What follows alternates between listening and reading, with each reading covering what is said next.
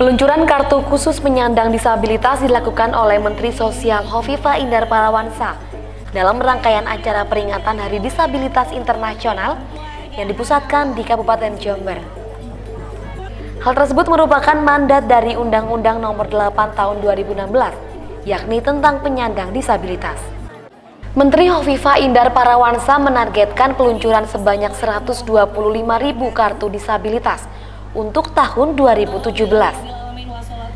Sementara untuk Kabupaten Jember baru ada sekitar 820 penyandang disabilitas yang sudah terverifikasi dan berhak mendapatkan kartu disabilitas. Selain meluncurkan kartu khusus penyandang disabilitas, Menteri Khofifa juga meresmikan e-warung yang dikelola penyandang disabilitas.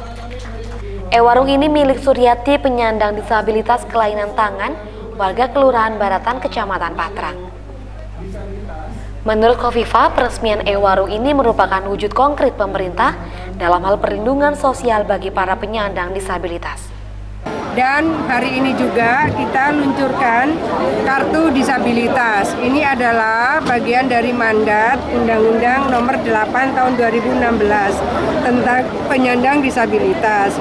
Kita akan mengkoordinasikan terus-menerus dengan berbagai kementerian lembaga karena di dalam Undang-Undang Nomor 8 Tahun 2016 tentang penyandang disabilitas antara lain adalah pentingnya konsesi di dalam kartu itu.